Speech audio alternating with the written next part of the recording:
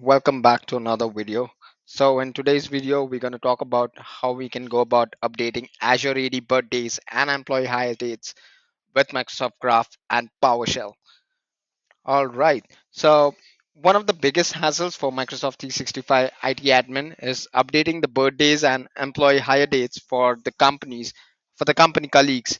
Okay. So in this in this video we're going to talk about how you can add or revise these dates using PowerShell PowerShell um, combined with the Microsoft Graph SDK. Now, the collection of Microsoft PowerShell module uh, contains command for calling the graph service. So I'll show you the list of commands that we're going to use. So these are the list of commands. Okay, so in order to install the Microsoft Graph commandlet, you will need to use this command okay so i already have this installed so i won't be using this. Okay so uh, we'll be directly starting from connect mg graph. So in order to run this command you'll need a scope. So for the scope uh, i'm using set of permission which is user.read all directory.read write all and site.full control all all right let's run this command. Okay it will ask me to sign in there you go. So it you have to be an admin of the account tenant?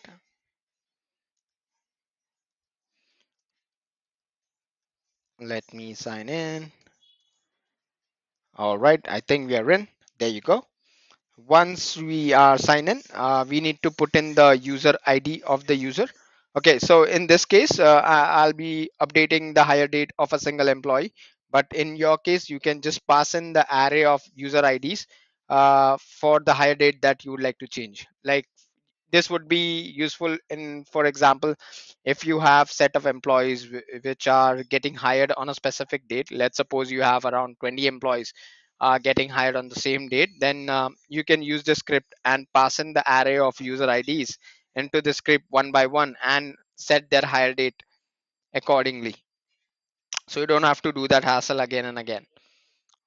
All right. So let me just add this for a single employee and then you can update the script according to your needs. All right. So i think user id is correct. There you go. Now i'm gonna add the parameters. So you can also update the birthdays uh, as well as the hire date. I would be updating only the hire date. I'll be removing the birthday.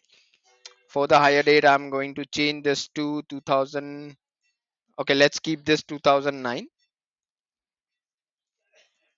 and paste it.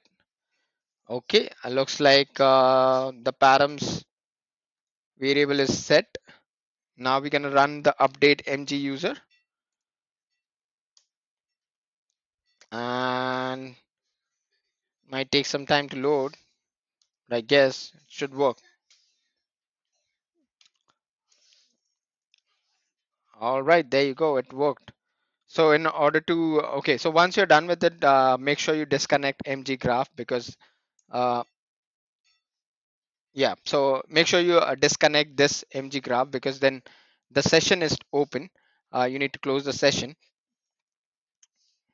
All right so once you're done uh, you can verify it. So let me just open my graph explorer and check the hire date. Okay um, aka.ms forward slash ge so this was the simple script uh, using which you can uh, update the hire date of the employees. Uh, if you want to you know update any other details you just need to put that detail into the param section and uh, the user would be updated accordingly the details that you would add. So let's test the hire date quickly. Uh, let me sign in into my graph explorer all right it is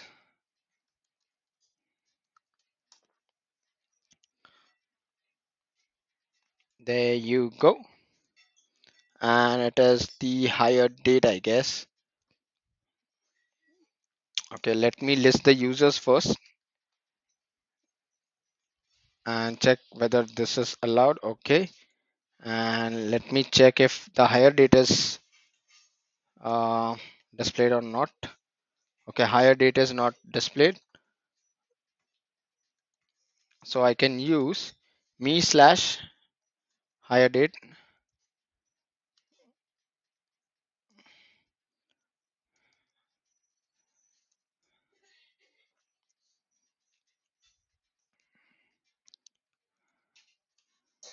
Okay. Okay so this is showing uh, the sign in users hire date we need to check the Adelaide's hire date employee hire date. Okay. Uh, probably it will display same thing. Okay employee hire date is null. The higher hire date is what we need. Okay. So this is showing for the sign in user. We need to sign in as Adelaide to get it. Let's sign in for Adelaide and get this verified uh, let's sign in again. And let's do this.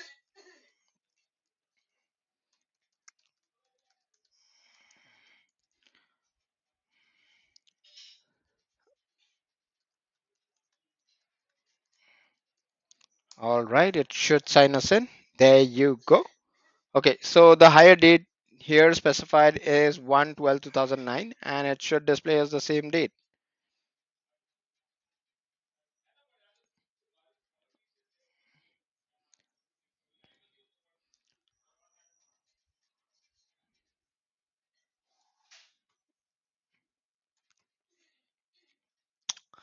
um system date time dot parse is 1 12 2009 so 2009 is correct and 30 okay.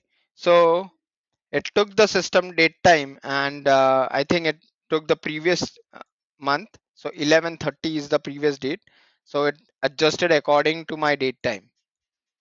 Okay. So this is what it is uh, if you want to you know uh, change it according to your date let's let's change it again and see. Let's put this 2011 let's connect with microsoft graph again and run this as a whole.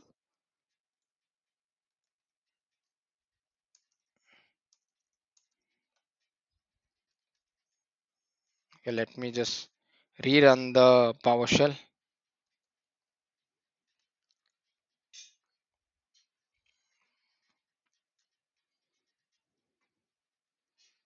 okay and there you go PowerShell is up and running.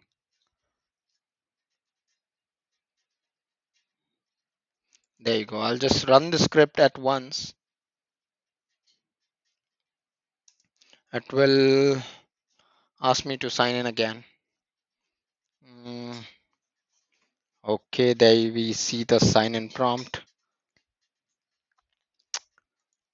All right.